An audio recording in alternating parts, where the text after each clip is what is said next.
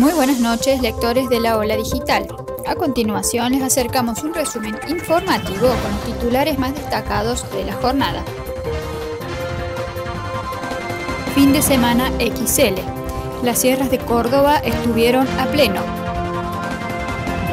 Córdoba registró uno de los mejores fines de semana de esta inusual temporada estival. Los principales valles de Córdoba tuvieron ocupación plena en gran parte de los municipios el Valle de Calamuchita registró un 100% de ocupación. El dique Los Molinos superó el nivel del vertedero.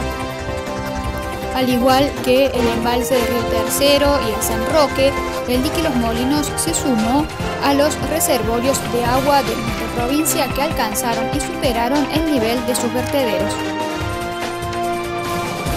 Los docentes volvieron a las aulas. El marco del cronograma del ciclo educativo 2021, la fecha estipulada se respetó y los educadores regresaron a los salones de clases. Están abiertas las inscripciones al boleto educativo gratuito. En los casos de que la institución educativa tenga un sistema mixto, presencial y virtual, el beneficio será por la cantidad de días de asistencia presencial. El lunes se realizó la movilización contra la actual gestión de Villa Quillinzo. Entre 150 y 200 personas se reunieron frente a la comuna para manifestar por diversas cuestiones. Fue convocada por vecinos y apoyada por la oposición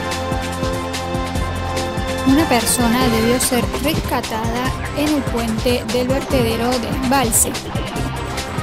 Sucedió ayer por la mañana. Trabajaron bomberos de la localidad y personal policial.